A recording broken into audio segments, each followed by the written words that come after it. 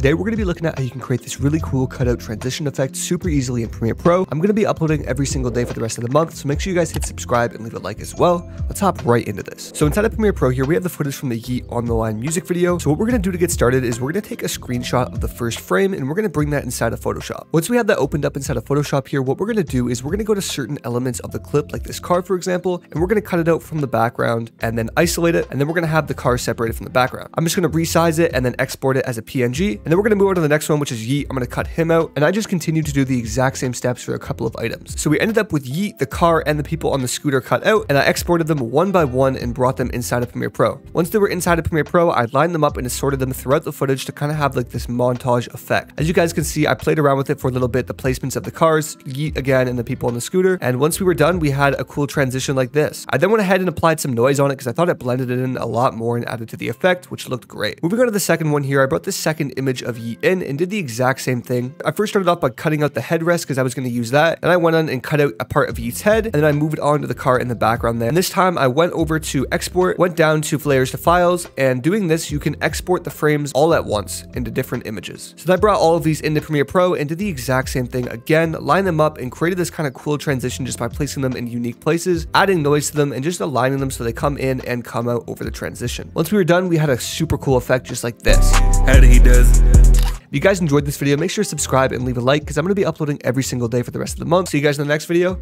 Peace.